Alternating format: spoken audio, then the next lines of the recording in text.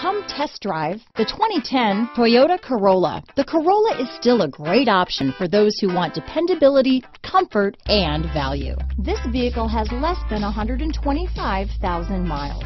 Here are some of this vehicle's great options. Traction control, dual airbags, power steering, CD player, electronic stability control, rear window defroster, power windows, tachometer, brake assist, front bucket seats, tilt steering wheel, front reading lamps, driver vanity mirror, cloth seat trim, passenger vanity mirror, low tire pressure warning, front wheel independent suspension, four-piece floor mat set. This vehicle offers reliability and good looks at a great price. So come in and take a test drive today.